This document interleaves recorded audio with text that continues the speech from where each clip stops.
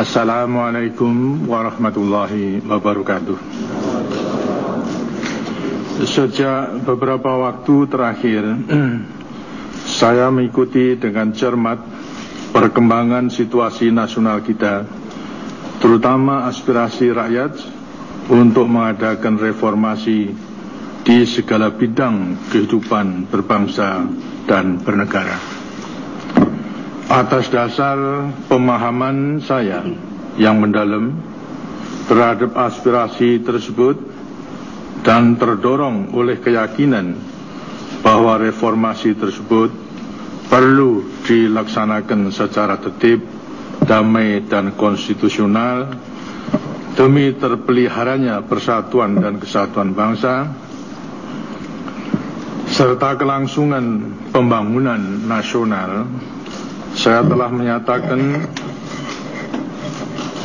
rencana pembentukan komite reformasi dan mengubah susunan kabinet pembangunan ke-7. Namun demikian, kenyataan hingga hari ini menunjukkan komite reformasi tersebut tidak dapat terwujud karena tidak adanya tanggapan yang memadai terhadap rencana pembentukan komite tersebut.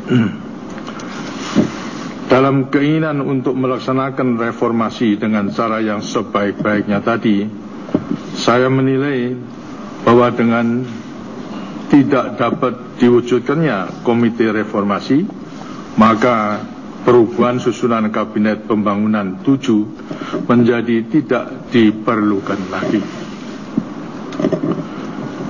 dengan memperhatikan keadaan di atas, saya berpendapat sangat sulit bagi saya untuk dapat menjalankan tugas pemerintah negara dan pembangunan dengan baik.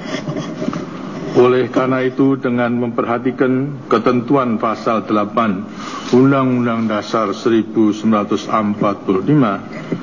dan setelah dengan sungguh-sungguh memperhatikan pandangan pimpinan Dewan Perwakilan Rakyat dan pimpinan fraksi-fraksi yang ada di dalamnya, saya memutuskan untuk menyatakan berhenti dari jabatan saya sebagai Presiden Republik Indonesia. Terhitung sejak saya bacakan pernyataan ini pada hari ini Kamis 21 Mei 1998. Pernyataan saya berhenti dari jabatan sebagai Presiden Republik Indonesia saya sampaikan di hadapan saudara-saudara pimpinan Dewan Perwakilan Rakyat Republik Indonesia yang juga adalah pimpinan Majelis Permusuhan Rakyat pagi ini pada kesempatan silaturahmi. Sesuai dengan pasal 8 Undang-Undang Dasar 45, maka Wakil Presiden Republik Indonesia Profesor Dr. Insinyur B.J. Habibie yang akan melanjutkan sisa waktu jabatan Presiden Mandataris MPR 1998-2003.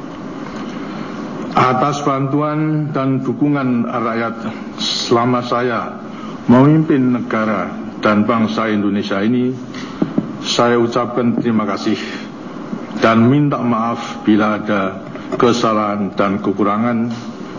Kekurangannya, semoga bangsa Indonesia tetap jaya dengan Pancasila dan Undang Dasar 45-nya.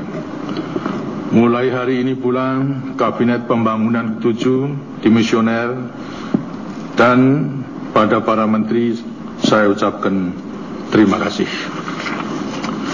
Oleh karena keadaan tidak memungkinkan untuk menyelenggarakan pengucapan sumpah di hadapan Dewan Perwakilan Rakyat, maka untuk menghindari kekosongan pimpinan dalam menyelenggarakan pemerintahan negara, kiranya Saudara Wakil Presiden sekarang juga agar melaksanakan pengucapan sumpah jabatan Presiden di hadapan Mahkamah Agung Republik Indonesia.